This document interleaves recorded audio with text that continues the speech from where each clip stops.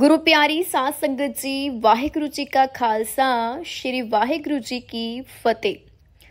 ਸੰਗਤ ਜੀ, ਅੱਜ ਅਸੀਂ ਤੁਹਾਨੂੰ ਸਾਖੀ ਸੁਣਾਵਾਂਗੇ। ਜਦੋਂ ਸ੍ਰੀ ਗੁਰੂ ਨਾਨਕ ਦੇਵ ਜੀ ਨਿੱਕੀ ਉਮਰ ਦੇ ਸਨ, ਤਾਂ ਬਹੁਤ ਹੀ ਘੱਟ ਸੌਂਦੇ ਤੇ ਘੱਟ ਖਾਂਦੇ ਸੀ। ਡੂੰਘੀਆਂ ਸੋਚਾਂ ਦੇ ਵਿੱਚ ਹੀ ਰੁੱਝੇ ਰਹਿੰਦੇ ਸੀ। ਤਾਂ ਘਰਦਿਆਂ ਨੂੰ ਲੱਗਿਆ ਕਿ ਸ਼ਾਇਦ ਸ੍ਰੀ ਗੁਰੂ ਨਾਨਕ ਦੇਵ ਜੀ ਬਿਮਾਰ ਨੇ। ਤਾਂ ਉਹਨਾਂ ਨੇ ਵੈਦ ਬੁਲਾਇਆ ਸੀ। ਉਹ ਸਾਰੀ ਕਹਾਣੀ ਕੀ ਸੀ? ਆਓ ਸੁਣਦੇ ਹਾਂ। ਗੁਰੂ ਜੀ ਹਰ ਵੇਲੇ ਅਕਾਲ ਪੁਰਖ ਦੇ ਨਾਲ ਜੁੜੇ ਰਹਿੰਦੇ ਸਨ। ਕਿਸੇ ਕੰਮਕਾਜ ਵਿੱਚ ਕੋਈ ਦਿਲਚਸਪੀ ਨਹੀਂ ਸੀ ਰੱਖਦੇ। ਬਹੁਤ ਘੱਟ ਸੌਂਦੇ ਤੇ ਬਹੁਤ ਘੱਟ ਖਾਂਦੇ ਸਨ ਤੇ ਡੂਗੀਆਂ ਸੋਚਾਂ ਦੇ ਵਿੱਚ ਗਲਤਾਨ ਰਹਿੰਦੇ ਸਨ। ਘਰ ਵਾਲਿਆਂ ਨੂੰ ਚਿੰਤਾ ਹੋਈ ਕਿ ਸ਼ਾਇਦ ਉਹਨਾਂ ਨੂੰ ਕੋਈ ਰੋਗ ਲੱਗ ਗਿਆ। ਇਸ ਕਰਕੇ ਉਹਨਾਂ ਨੇ ਇੱਕ ਦਿਨ ਪਿੰਡ ਦੇ ਵੈਦ ਨੂੰ ਬੁਲਾ ਲਿਆ।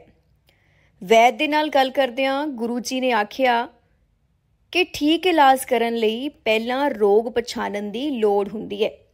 ਮੇਰੇ ਸਰੀਰ ਨੂੰ ਕੋਈ ਰੋਗ ਨਹੀਂ ਹੈ। ਜੇ ਕੋਈ ਰੋਗ ਹੈ, ਤਾਂ ਆਪ ਜੀ ਨੂੰ ਉਸ ਦੀ ਸਮਝ ਨਹੀਂ।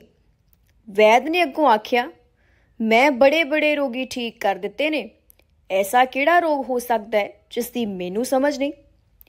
ਗੁਰੂ ਜੀ ਨੇ ਆਖਿਆ, ਸਾਡੇ ਸਮਾਜ ਵਿੱਚ ਜੋ ਕੁਕਰਮ ਹੋ ਰਹੇ ਨੇ, ਕੀ ਤੁਸੀਂ ਉਸ ਦੇ ਇਲਾਜ ਬਾਰੇ ਕਦੇ ਸੋਚਿਆ ਵੈਦ ਨੇ ਆਖਿਆ ਕਿ ਇਹ ਕੰਮ ਪਰਮਾਤਮਾ ਦੀ ਦੇਣ ਹੈ। ਗੁਰੂ ਜੀ ਨੇ ਆਖਿਆ, ਪਰਮਾਤਮਾ ਨੇ ਤਾਂ ਇਨਸਾਨ ਪੈਦਾ ਕੀਤਾ ਹੈ ਕਿ ਉਹ ਲੋਕਾਂ ਦੇ ਦੁੱਖ ਸੁੱਖ ਦਾ ਭਾਈਵਾਲ ਬਣੇ ਅਤੇ ਕਿਸੇ ਮਨੁੱਖ ਜਾਨਵਰ ਉੱਤੇ ਕੋਈ ਅਤਿਆਚਾਰ ਨਾ ਕਰੇ।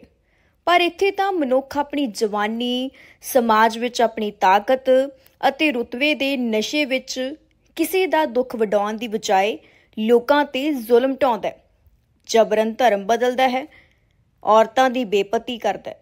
ਪਰ ਇਹਨਾਂ ਕੁਕਰਮਾਂ ਦੇ ਵਿਰੁੱਧ ਕੋਈ ਆਵਾਜ਼ ਨਹੀਂ ਉਠਾ ਰਿਹਾ। ਮੈਂ ਤਾਂ ਅਜਿਹੀ ਰੋਗੀ ਇਨਸਾਨੀਅਤ ਨੂੰ ਵੇਖ ਕੇ ਉਦਾਸ ਹਾਂ ਕਿ ਤੁਹਾਡੇ ਪਾਸ ਇਸ ਦਾ ਕੋਈ ਇਲਾਜ ਹੈ। ਗੁਰੂ ਜੀ ਦੀਆਂ ਗੱਲਾਂ ਸੁਣ ਕੇ ਵੈਦ ਦੀ ਨਿਸ਼ਾ ਹੋ ਗਈ। ਉਸਨੇ ਗੁਰੂ ਜੀ ਦੇ ਪਰਿਵਾਰ ਨੂੰ ਆਖਿਆ ਕਿ ਨਾਨਕ ਜੀ ਨੂੰ ਕੋਈ ਸਰੀਰਕ ਦੁੱਖ ਨਹੀਂ ਹੈ।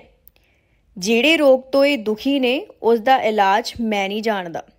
ਪਰ ਗੁਰੂ ਜੀ ਆਖਣ ਲੱਗੇ ਕਿ ਲੋਕਾਈ ਦੀ ਆਤਮਾ ਦੁਖੀ ਅਤੇ ਨਿਰਬਲ ਹੈ ਜਿਸ ਨੂੰ ਬਲਵਾਨ ਤੇ ਸਿਹਤਮੰਦ ਬਣਾਉਣ ਵਾਸਤੇ ਨਾਮ ਸਭ ਤੋਂ ਵੱਡਾ दारू ਹੈ।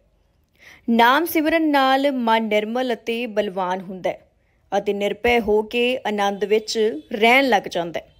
ਤੇ ਉਸ ਵਿੱਚ ਪਾਪ ਤੇ ਜ਼ੁਲਮ ਦਾ ਟਾਕਰਾ ਕਰਨ ਲਈ ਅਥਾ ਸ਼ਕਤੀ ਉਤਪੰਨ ਹੋ ਜਾਂਦੀ ਹੈ। ਵੈਦ ਗੁਰੂ ਜੀ ਦਾ ਇਲਾਜ ਕਰਨ ਆਇਆ ਸੀ ਉਲਟਾ ਜ਼ੋਰ ਜ਼ੁਲਮ ਦਾ ਇਲਾਜ ਕਰਨ ਦਾ ਨੁਸਖਾ ਲੈ ਕੇ ਚਲਾ ਗਿਆ। ਭੁਲਾ ਚੁਕਾ ਮਾਫ ਕਰਨੀਆਂ ਜੀ। ਵਾਹਿਗੁਰੂ ਜੀ ਕਾ ਖਾਲਸਾ। ਸ੍ਰੀ ਵਾਹਿਗੁਰੂ ਜੀ ਕੀ ਫਤਿਹ।